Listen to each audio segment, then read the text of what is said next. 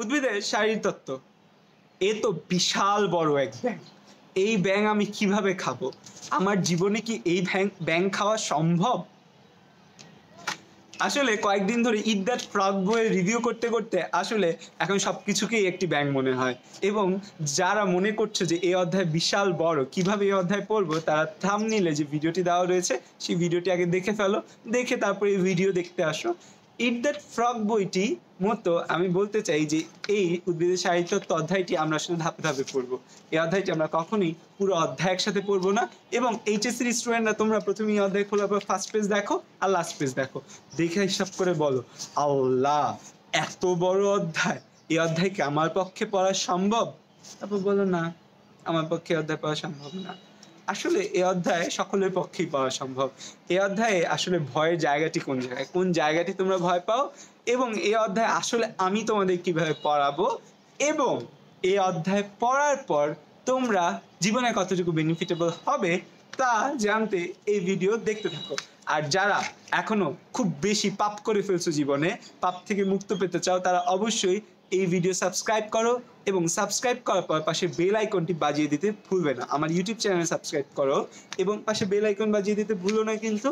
এবং যারা এখনও লাইক দাওনি, একটি লাইক দিয়ে ফেলো এবং বন্ধুদের সাথে শেয়ার করে ফেলো ভিডিও দেখার আগেই যে কি কি আমরা এখান থেকে জানব। তোমার বন্ধুরা তো জানার অধিকার আছে, তাই না? চল, দেখে নাও উদ্ভিদের সাহিত্য। এই অধ্যায়টি আসলে অনেক বড় একটি অধ্যায়। এই জন্য বেশিরভাগ স্টুডেন্টই আসলে ভয় পায় এই অধ্যায়টির ব্যাপারে। এই অধ্যায়ে আমরা আসলে কি কি পড়ব? প্রথমে আমরা পড়ব খনিজ লবণ পরিশোষণ। তোমরা নাইনটিনে অবশ্যই পানি পরিশোষণ করেছিলে। এখন একটু আপগ্রেড হয়েছে, বড় হয়েছে যেহেতু, পড়ব আমরা খনিজ লবণ পরিশোষণ।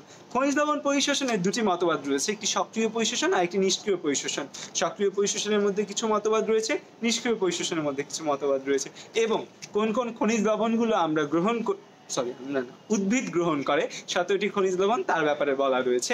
তাই উদ্ভিদের খনিজ লবণ পরিশোষণ হবে আমাদের প্রথম যে পড়া, এই অধ্যায় সূচনা। উদ্ভিদের খনিজ লবণ পরিশোধ একদম সহজ একদম সহজ। তোমরা পারবে পারবে।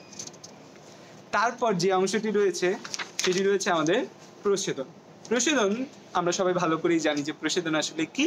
যে উদ্ভিদের পত্ররন্ধ্র দিয়ে পানি জলীয় বাষ্প আকারে বের হয়ে যাওয়াকে বলা হয় প্রসেদন বলা হয়। এবং প্রসেদন সম্পর্কে নাইনটিনে আমাদের কিছুটা ধারণা ছিল, কিন্তু পত্ররন্ধ্র খোলে আর বন্ধ হয় কীভাবে? এই নিয়ে তিনজন বিজ্ঞানী খুব দুষ্টামি করেছে। একজনের নাম লয়েড, একজনের নাম সাইরি আরেকজন হচ্ছে আধুনিক মতবাদ বা পটাশিয়ামের মতবাদ দিয়েছে। এই পত্ররন্ধ্র খোলা আর বন্ধ হওয়া সম্পর্কে আমাদের একটু কিঞ্চিত জানতে হবে।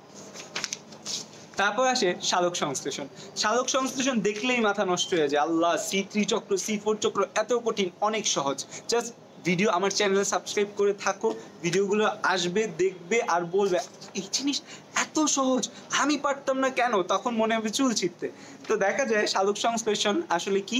এই যে উদ্ভিদ সূর্যালোক ব্যবহার করে তার খাদ্য তৈরি করছে তাকে বলা হয় সালোক সংশ্লেষণ। সবসময় সংশ্লেষণ মানে মনে রাখবে, তৈরি করা। শালক সংশ্লেষণ মানে ফটোসিনথেসিস এই সালোক সংশ্লেষণ প্রক্রিয়ার কি তৈরি হয় সেগুলো আমরা জানব এবং সেই তৈরি হওয়ার আগে আমাদের ফটো সিস্টেম সম্পর্কে জানতে হবে ফসফোরাইলেশন সম্পর্কে জানতে হবে এবং সি থ্রি এবং সি ফোর চক্র সম্পর্কে তো জানতেই হবে। এবং নতুন একটি চক্রের ব্যাপারে নতুনভাবে অ্যাড হয়েছে যে সি এ এম পাথওয়ে মরুজ উদ্ভিদগুলোর মধ্যে দেখা যায় বা পাথরকুচি পাতার মধ্যে দেখা যায়, তো সাধক সংশ্লেষণ। আর এরপর আমার সবচেয়ে প্রিয় ক্লোজ টু হার্ট শ্বসন শ্বসন অধ্যায়টিও আমাদের পড়তে শ্বসন অংশটি আমাদের খুব ভালোভাবে পড়তে হবে এবং তোমাদের ভিডিও শুরু করব আমি শ্বসন দিয়ে। শ্বসন থেকে আমাদের জানতে হবে সবাদ শোষণ কি আবাদ শোষণ কি? সবাদ শোষণের যে চারটি ধাপ রয়েছে, গ্লাইকোলাইসিস, তারপর হচ্ছে যে গ্লাইকোলাইসিস, তারপর ভুলে গেছি। গ্লাইকোলাইসিস, পাইরুভিক অ্যাসিডের পাইরুভিক অ্যাসিডের জারণ থেকে অ্যাসিডেল কোয়ে ক্রেপস চক্র তৈরি ইলেকট্রন ট্রান্সপোর্ট চেইন এবং অবাধ শোষণ বা ফার্মেন্টেশন কি তার সম্পর্কে জানতে হবে।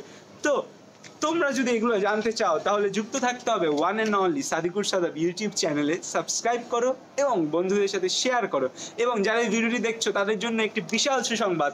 তোমাদের এই কোয়ারেন্টাইন টাইমে তোমরা যেন ভালো মতো পড়ালেখা করতে পারো, সেজন্য আমরা তোমাদের জন্য কুইজের ব্যবস্থা করছি। এবং কুইজের ব্যাপারে জানার জন্য তোমরা আমাদের ব্যাটেলস অফ বায়োলজি গ্রুপে খোঁজ রাখো। আর আজান দিচ্ছে। আজানের আগে বাসায় যেতে হবে। আম্মুর কথা। সো বাই বাই সবাইকে ধন্যবাদ ভিডিও দেখার জন্য।